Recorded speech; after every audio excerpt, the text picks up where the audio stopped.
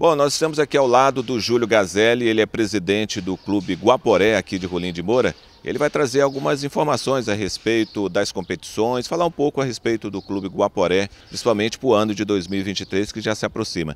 É, Júlio, a primeira informação que eu gostaria de que você passasse para algumas pessoas que ainda não conhecem a história, por que Guaporé? O Guaporé é para lembrar Rondônia, né, que foi antes nós tínhamos o território do Guaporé e a riqueza do rio Guaporé. Entendeu? Esse foi o objetivo do nome. Deixar bem rondonense. Isso, lembrar Rondônia, o orgulho de Rondônia, né? Quando alguém falasse em, em Guaporé, lembraria do, do Rio Guaporé, lembraria do clube também. Foi essa a ideia.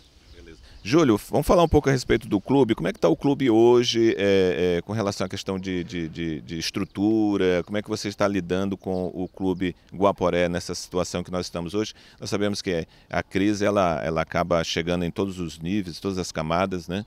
É, como é que é lidar com um clube em Rolim de Moura? Oh, sobre estrutura física, nós começamos por volta de 2013 a fazer. Está praticamente já pronto, né? Temos um campo profissional e dois campos de treinamento. Temos uma academia, né, piscina de hidromassagem, uma cozinha, alojamento uh, com os atletas que vêm de fora. Então, nessa parte da estrutura física, um ônibus próprio, nós estamos bem. Quanto à programação para o ano que vem, a nossa programação é continuar com sub-13, sub-15, sub-17, sub-20, né? Que hoje é conduzido o departamento amador pelo professor William Zanetti, que foi durante muitos anos goleiro dos times aqui, vários times aqui de Rondônia, né? O Rolim de Moura, o, o, o Ariquemes Antigo, e para o profissional, a gente vai vir novamente voltar ao campeonato estadual nesse ano de 2023 que está chegando. Quando você trabalha com um clube que é um clube pequeno, principalmente no interior de um estado também, que é um, um estado também que não é um estado ali é, de ponta no Brasil, qual é o objetivo, qual é o sonho que passa no coração é, somente o desejo de ter um clube porque você gosta de futebol, mas o que que passa? Quais são os objetivos de um clube como o Guaporé? Rapaz, essa pergunta mexe coração, mas vamos lá. Isso é muito antigo. É, isso vem influência lá do Rio de Janeiro, do União da Ilha do Governador, uma escola de samba.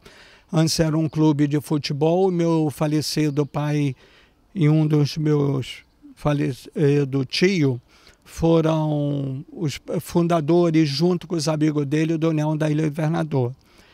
E isso, a União da Ilha do Governador, ficou uma herança lá no Rio de Janeiro, principalmente no Ilha do Governador, para aquela população. Então, minha ideia foi essa, eh, deixar uh, para quando a gente se for lá na frente, é de Deus, né? Uma herança aqui para Rondônia que seria o clube de futebol Guaporé. Esse foi é um sonho maior. O legado. Deixar o legado correto. Todos os clubes aqui de Rondônia, na verdade, a parte financeira fica difícil. Nós não temos assim uma premiação, é, uma cooperativa de crédito que possa uh, patrocinar o campeonato. Então a gente acaba contratando esses profissionais quando falta um mês, 45 dias, 60 para começar o campeonato. Nós ainda não fizemos o chamado arbitral. O arbitral é quando se decide a data do campeonato, a fórmula do campeonato. Se vamos começar em fevereiro ou em maio, como é lá no estado do Amapá, o estadual, né?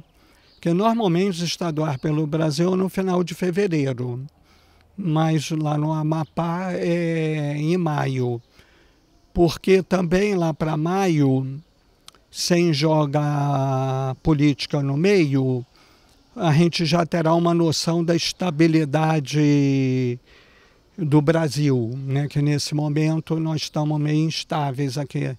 E as empresas não patrocinariam com essa instabilidade agora. Para nós é, penso eu, não posso falar no nome dos outros presidentes, irmos atrás de patrocínio em janeiro parece que vai ficar meio complicado. O ideal era esse campeonato começar em maio, mas há uma possibilidade dele começar em fevereiro. Seja fevereiro ou maio, o certo é que o Guaporé vai participar. Nós do Guaporé vamos começar agora no dia 4 de dezembro com uma feijoada aqui no clube e vamos fazer bingo.